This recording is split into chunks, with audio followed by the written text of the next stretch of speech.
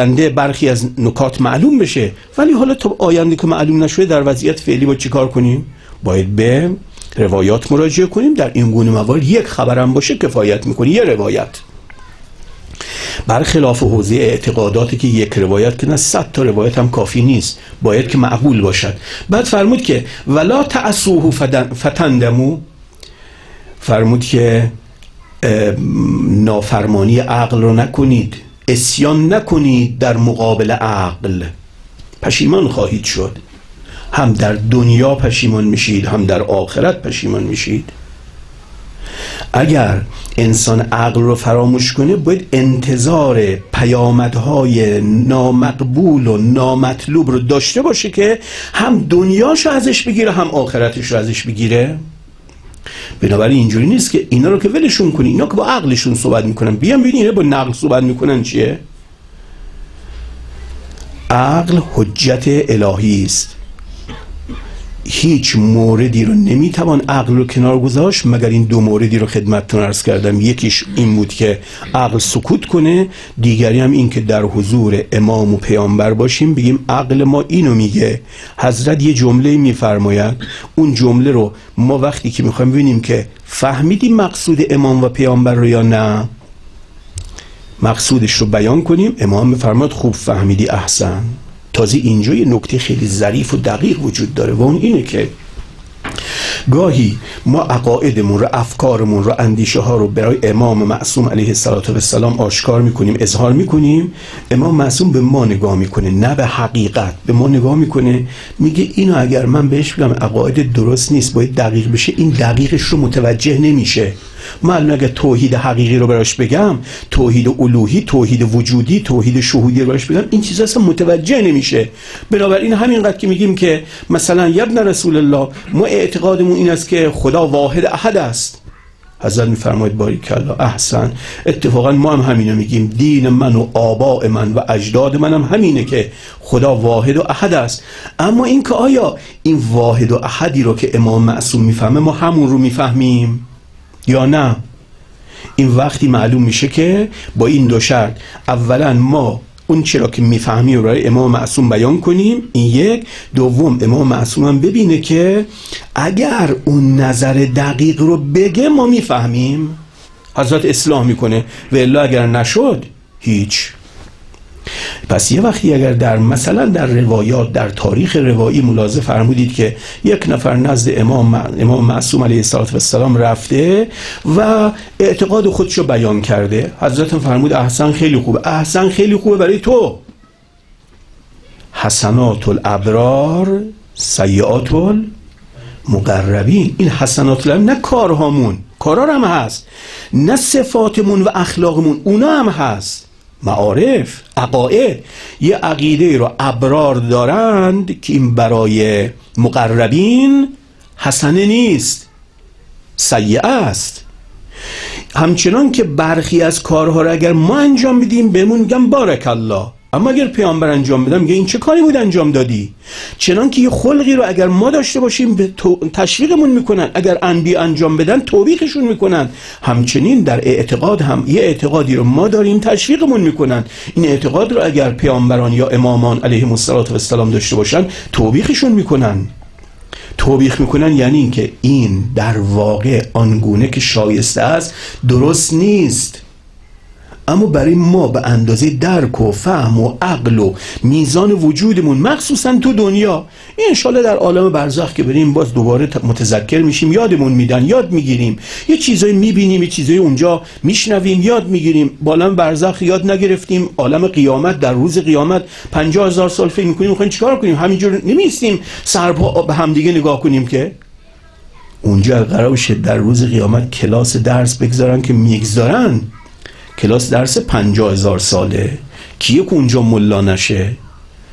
با 20 سال سی سال پنجاه سال تو جهان طبیعت که ذهنمون فکرمون همه جا هست ملا میشیم. طبعا در عالم برزخ که معلوم نیست چه اندازه است ممکنه میلیاردها سال باشد. اونجا کلاس برای اون می‌گذارن منتها کلاس از این سنخ نیست که بگن دفتراتون بیارین کتاباتون بیارین قلماتون بیارین. نه سنخ دیگری است. مناسب اون عالم است.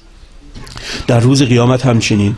بعد یه بخشش هم باقی میمونه. اون کسانی که دیگه خیلی باقی مونده میرن جهنم اونجا یادشون میدن.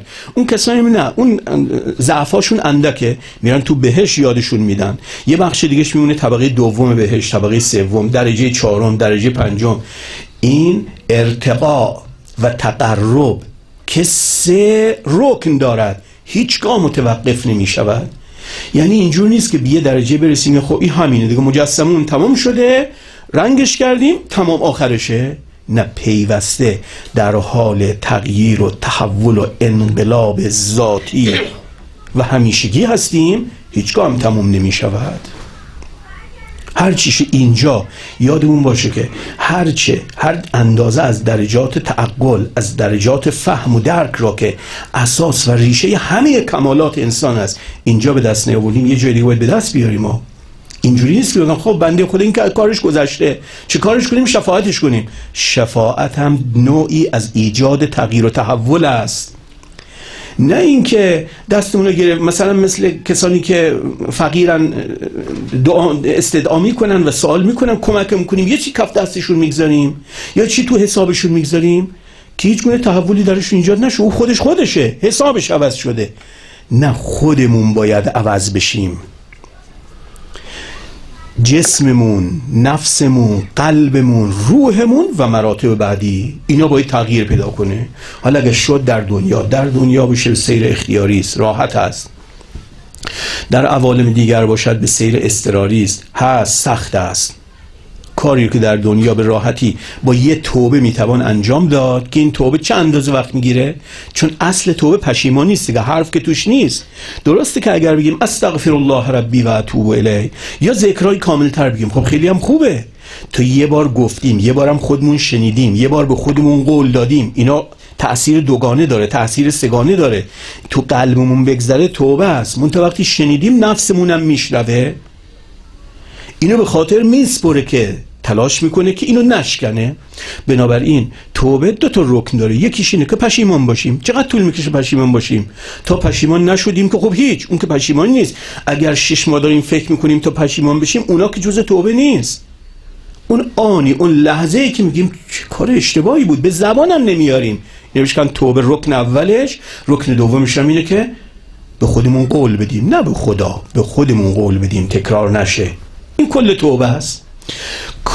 درجاتی را و مراتبی را که وسیله توبه در دو ثانیه سه ثانیه پنج ثانیه می‌توان به دست آورد رو چون سیر اختیاری است و به آسانی می‌توان به دست آورد همین کمال را و همین درجه رو در عالم برزخ باید هزار سال دو هزار سال صد هزار سال صد میلیون سال باید تلاش کنیم فعالیت کنیم غم بخوریم قصه بخوریم. بگیم خدایا یه بار دیگه برمون گردان دنیا؟ یه روز دیگه یه ساعت.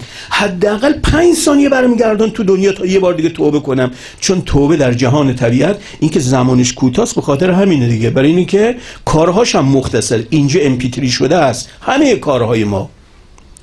بنابراین اینجا اگر با پنج ثانیه اصلاح می شود در عالم ورزخ از پنج ثانیه و پنج سال و پنج قرن و پنج هزاره بیشتر می شود و اگر به قیامت برسد خدای نکرده کار کسی اگر به جهنم برسد در جهنم رو میبندن.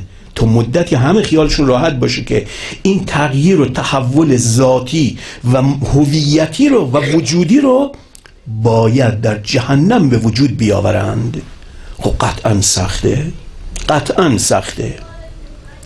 کاری رو که اگر ما بخوایم انجام بدیم مثلا دستمون رو بشوریم. و این خیلی معطلی نداره. اما اگر رفتیم یه جایی دستمون تمیز نبود یکی دیگه ورمی داره کیسه کشیدن خودمون کجا؟ کیسه کشیدن دیگری کجا؟ و اینجوری نیست که بگه مواظب باشین این ضعیف این پوستش لطیف این چنین چنانه که لازم باشه کیسه بکشن کیسه می‌کشن. لازم باشه سنگ پا بزنن. لازم باشه سنباده بکشن. لازم باشه با سنگ تمیز می‌کنن. بین را از همین عالمی رو که ما عبور کردیم از جهان طبیعت تا انتها پیوست کیسمون می‌کشن. تا پوست نندازیم امکان پذیر. اینا نه یه پوست که پوست ظاهر که نیست. درون باید متحول بشود. بنابراین فرمود که اسیان عقل نکنید پشیمان می‌شوید. برای دنیاتون عاقلانه عمل کنید. در سیاستتون اقتصادتون خانوادتون منطقی باشید. نه اینکه منطقی باشید یعنی دینی نباشید نه. دینتون هم منطقی باشد. فهمتون از دین هم منطقی باشد. عاقلانه باشد. اینجور نباشه که من یه حدیث ور میدارم مقابلم یه حدیث دیگه. من میگم با این حدیث تو خطا می‌کنی و با این حدیث. بشینیم با هم دیگه ببینیم که معنای این دو حدیث رو هر دو فهمیدیم یا نفهمیدیم. به عقل مراجعه کنید. اگر این گونه شد در این دو سه دقیقه حضرت ختم مرتبه صلی الله علیه و آله و سلم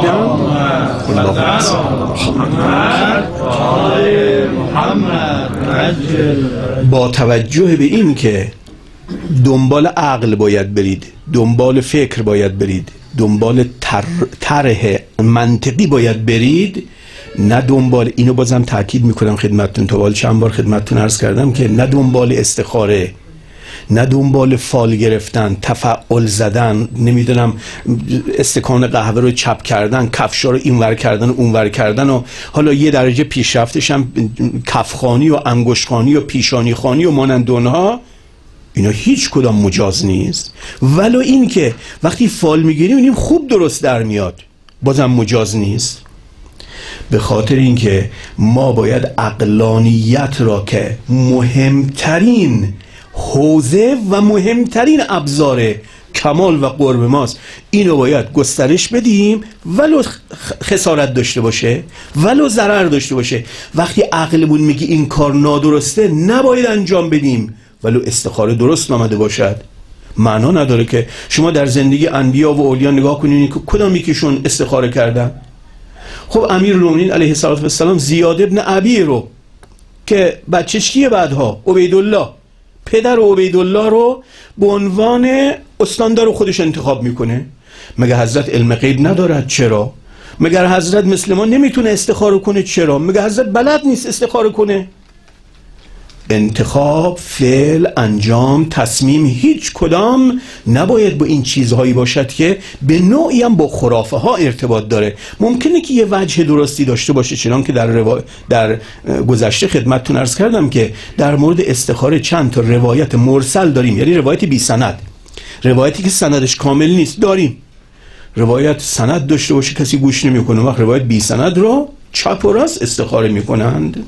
و بعد همین خودش شغلی هم می شود البته حالا برای این کشور ما که کمکاری بسیار زیاد و شغل نیست این هم یه شغل می‌خواد بشه ایجاد اشتغال مانی نداره. اما نباید.